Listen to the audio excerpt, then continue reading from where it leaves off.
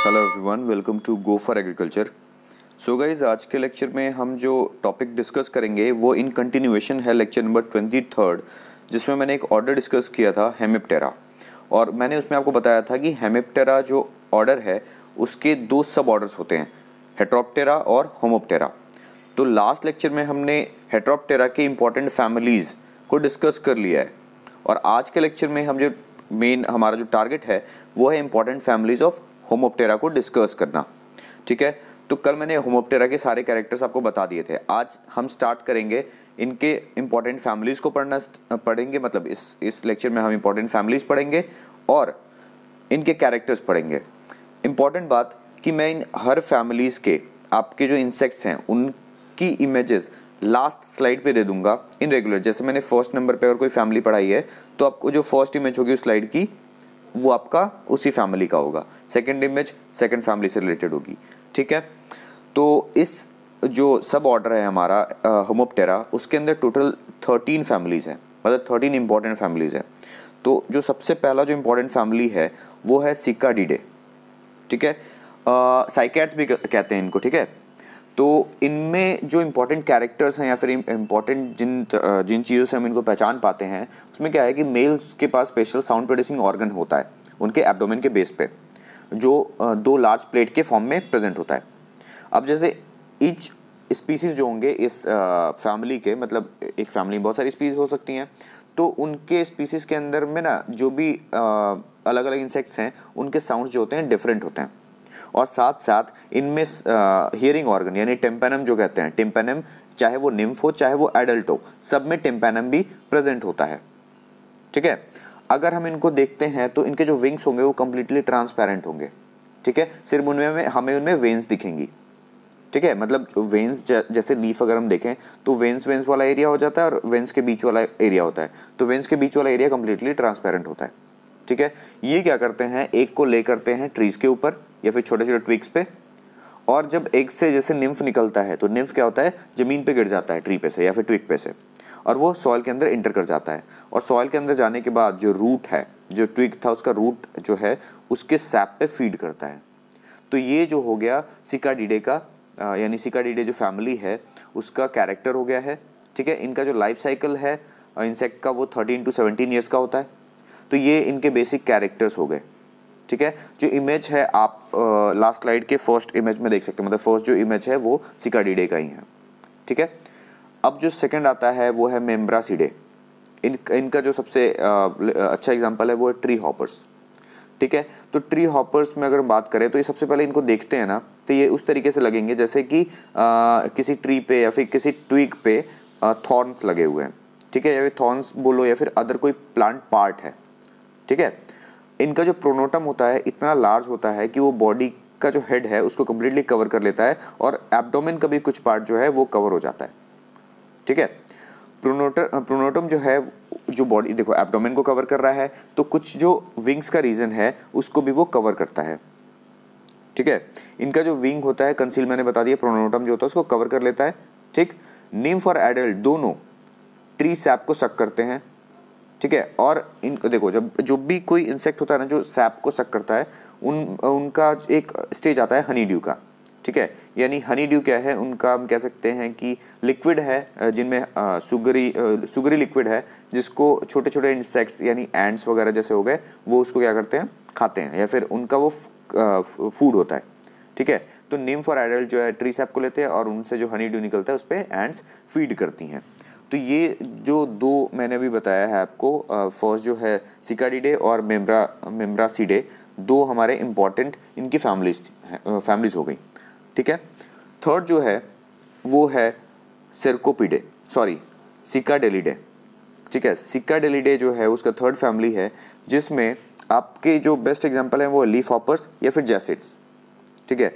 इनके जो इंसेक्ट्स होते हैं इलोंगेट होते हैं विथ अ वेज से बॉडी ठीक है?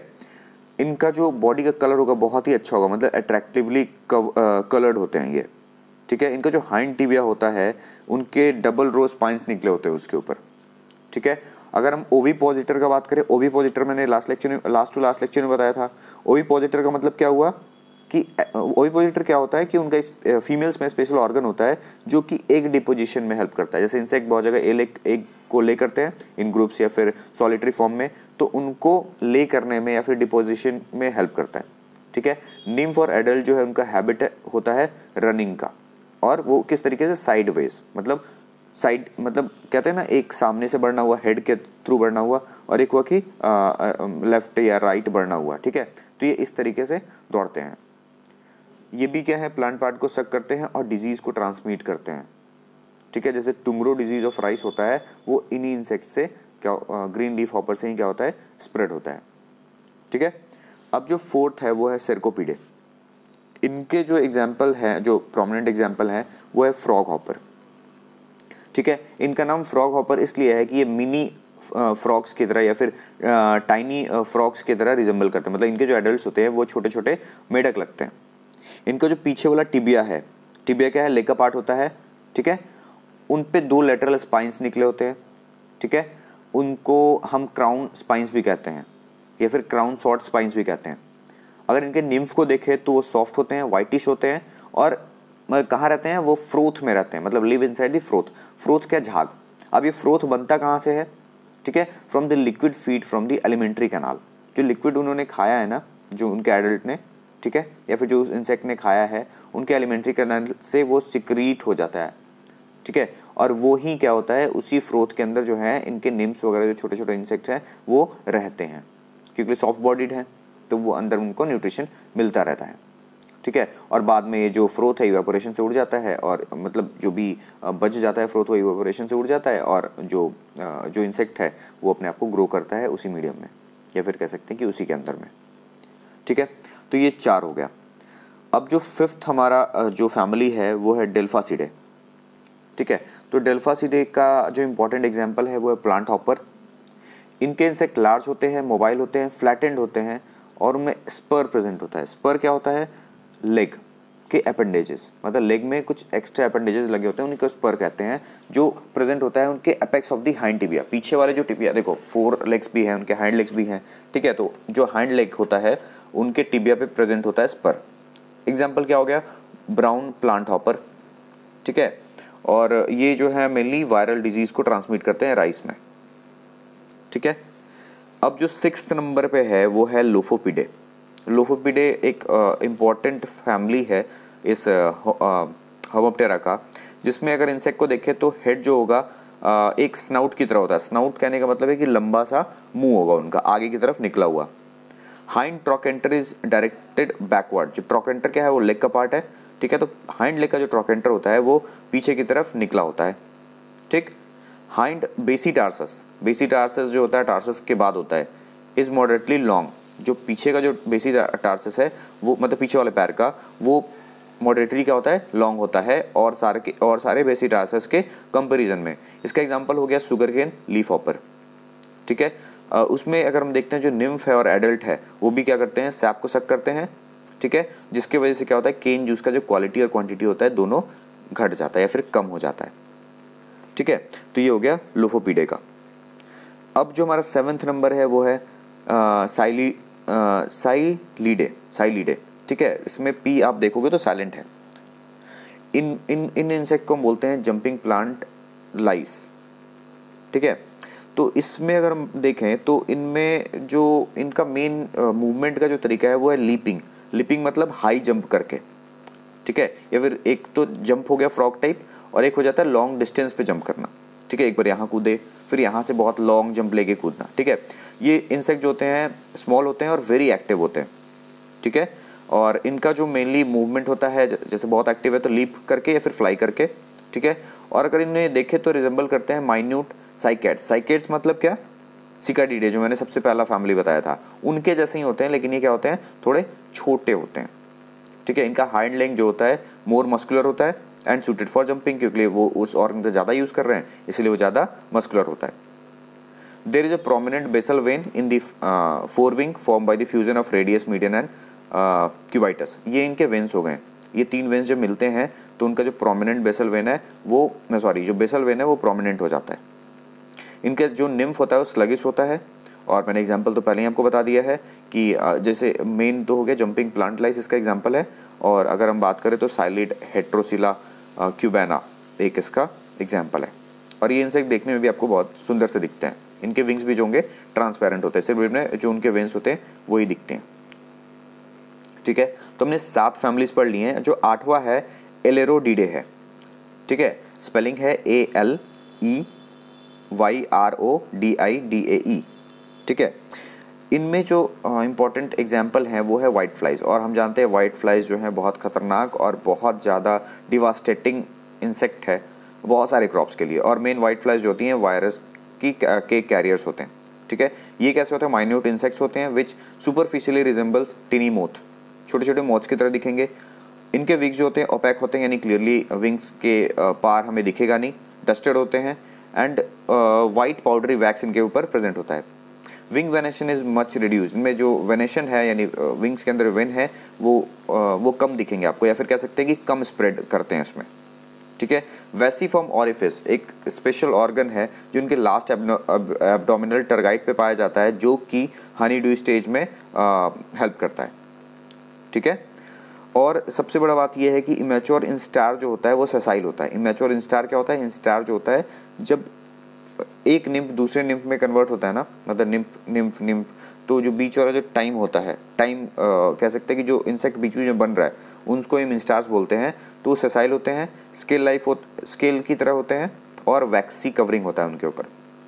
अगर मेटामॉर्फोसिस में अगर देखें तो होमोमेटाबोलस या फिर होलोमेटाबोलस होता है due to presence of quiescent stage prior to the emergence of the adult और बहुत इंपॉर्टेंट एग्ज़ाम्पल है इसका कॉटन वाइट फ्लाई ठीक है? Bemisia tabaci transmit vein clearing disease in the bhindi. ठीक है? तो ये हमने डिस्कस कर लिया एट्थ फैमिली अब जो नाइन्थ फैमिली है, वो है एफिडे। एफिडे नाम से लग रहा है, इनमें क्या हो सकते हैं? एफिड्स। ठीक है? और में प्लांट लाइस कह सकते हैं उनको। एफिड्स को प्लांट लाइस भी कहते हैं और ग्रीन फ्लाइज भी कहते हैं। इनका बॉडी जो होता है पियर सेप्ड होता है। ठीक है? ए पेयर ऑफ़ कॉर्निकल्स और wax tube is present on the dorsal the fifth और द सिक्स एब्डोमिनल सेगमेंट कहने का मतलब है कि one pair wax tube present होते हैं इनके फिफ्थ और सिक्स एब्डोमिनल सेगमेंट पे which secrete wax like substance ठीक है? They excrete amount of honeydew कहने का मतलब है कि ज़्यादा हनी ड्यू सिक्रेशन करते हैं, जिसके ऊपर एंड फ़ीड करती है और इस पर फंगस ग्रोथ भी होता है।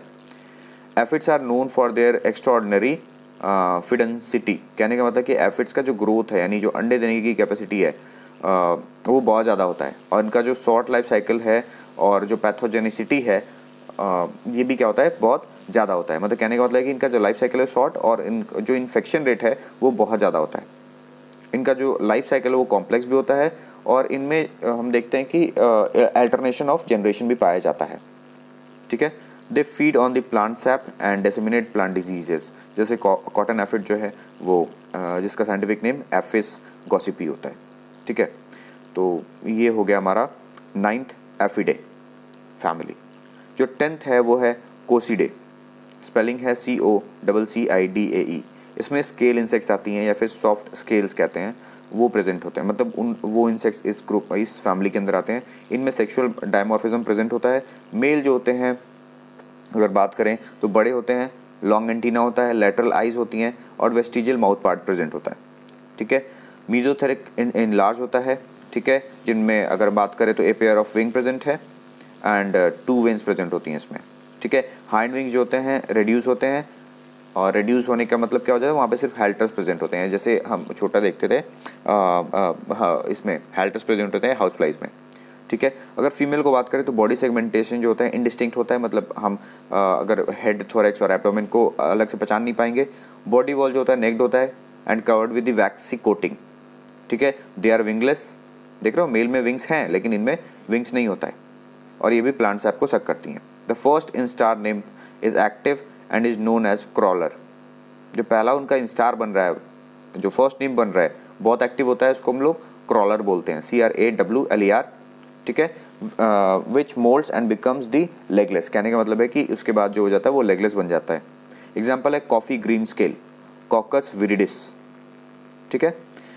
अब सॉरी ये स्लाइड मैंने चेंज नहीं किया। मैं इसी फैमिली के बारे में डिस्कस कर रहा था। अब जो नेक्स्ट इलेवेंथ नंबर हमारा फैमिली है, वो है डायस्पीडे ठीक है? स्पेलिंग है D I A S P I D I D A E armoured scale ठीक है? इनके जो इंसेक्ट्स होते हैं, उनके पास, उनका जो स्केल है, वो आर्मर्ड मतलब बहुत हार्ड होता है। Adult female lacks antenna legs and wings मतलब एडल्ट जो फीमेल होंगी, इनमें एंटीना नहीं होगा लेग भी नहीं होगा विंग भी नहीं होगा। The body is covered by hard waxy cell like substance इसीलिए इसका नाम क्या है? आर्मर्ड स्केल ठीक है? एग्ज़ाम्पल कोकोनट स्केल ठीक है? तो ये बहुत छोटा सा फैमिली हो गया।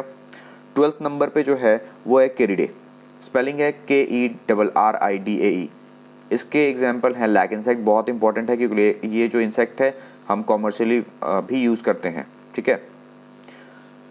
इनका जो कैरेक्टर है, जो अगर हम बात करें तो फीमेल्स जो होती हैं highly degenerate without legs wings and antenna इनमें लेग भी नहीं होता, इनके फीमेल में विंग्स भी नहीं होता एंटीना भी नहीं होता है। The body is irregular globular ठीक है, कोई भी सेप इनका फिक्स नहीं होता है फीमेल में। Body is enclose in a thick resinous cell इनकी जो बॉडी होती है, एक थिक रेजिनस सेल के अंदर प्रेजेंट होती है। एग्ज़ाम्पल क्या हो गया? लैक इंसेक्ट ठीक है लैसीफर लैक का जो इसका साइंटिफिक नेम होता है।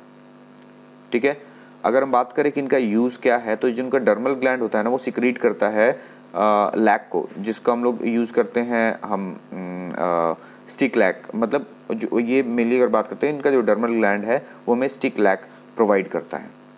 ठीक है? और जो हमारा लास्ट फैमिली है, वो है स्यूडो कोसिडे। अभी हमने टेंथ नंबर पे कोसिडे पढ़ा था? ठीक है, आप टेंथ नंबर पे देखो। कोसिडे। जिसके बारे में मैंने डिस्कस किया था। तो इन जो लास्ट है वो स्यूडो कोसिडे कहते हैं इसको। और इनके जो प्रोमिनेंट एग्ज़ाम्पल हैं वो क्या हैं? मीली बग्स इनका बॉडी जो होता है इलोंगेट होता है ओवल इन शेप होता है। बॉडी सेगमेंटेशन इज़ डिसिंग यानी हेड थोरेक्स एंड एप्टोमेन दिखता है उनमें।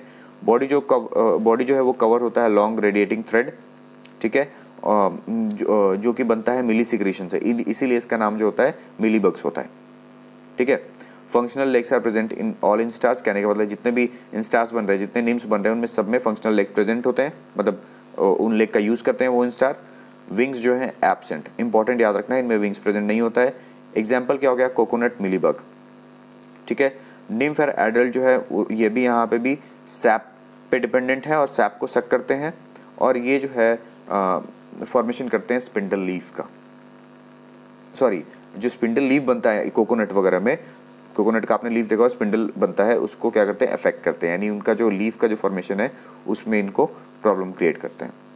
तो आई होप आज का लेक्चर जो है, थोड़ा सा थ्योरेटिकल ज़्यादा था, और मैंने डिफरेंस कोशिश करा कि आपको डिफरेंस क्रिएट करके बताऊँ कि इन डिफरेंट डिफरेंट फैमिलीज़ को क्यों हम डिफरेंट वे में पढ़ते हैं, या फिर इन, इनकी डिफरेंट फैमिलीज़ में क्या डिफरेंसेस हैं। तो thanks for watching this video till then stay tuned अगर आपको ये वीडियो अच्छी लगी है तो हमारे चैनल को सब्सक्राइब करो। और फॉलो द इंस्टाग्राम चैनल जहाँ पे आपको हमारी अपकमिंग वीडियोस की नोटिफिकेशन क्विजेज और बहुत सारे नोटिस या कह सकते हैं कि आपको प्रायर इन्फॉर्मेशन वहाँ पे मिल जाएँगी हमारे अपकमिंग वीडियोस या फिर अपकमिंग इवेंट्स के बारे में। ठीक है? और किसी को भी इस लेक्चर का पीडीएफ चाहिए तो वो हमारे Telegram channel go for agriculture से जाकर उसको डाउनलोड कर सकता है। चलिए मिलते हैं नेक्स्ट लेक्चर में। बाय